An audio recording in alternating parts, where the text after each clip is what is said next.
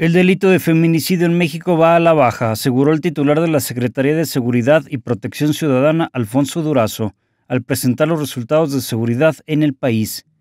Va a la baja, pero no estamos satisfechos, enfatizó durante la conferencia de prensa matutina presidencial e indicó que la cifra es inferior en un 8% respecto a diciembre de 2018.